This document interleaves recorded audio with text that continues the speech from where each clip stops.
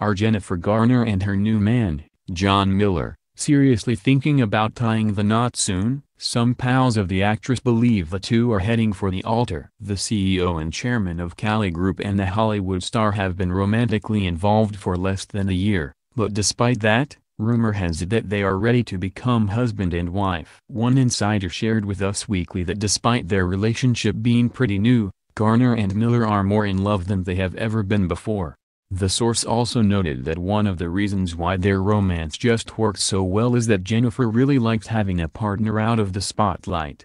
Apparently, she admires John because he is just normal. It probably also helps that they do not work in the same field, meaning that they separate love and work. As fans know, Jennifer Garner and her ex Ben Affleck announced their separation back in 2015 but they actually divorced in November of 2018 only a month before the actress was spotted with her new man. The source explained that no one would be surprised if they got engaged by summer. John has discussed marrying Jen. Their nuptials would also mean a blended family since the man has two kids while Jen has three of her own as well. And because John is a father as well, he understands very well that Jen is going to always put her young ones first. She sees John only when she isn't busy with her kids. He understands they are her number one priority.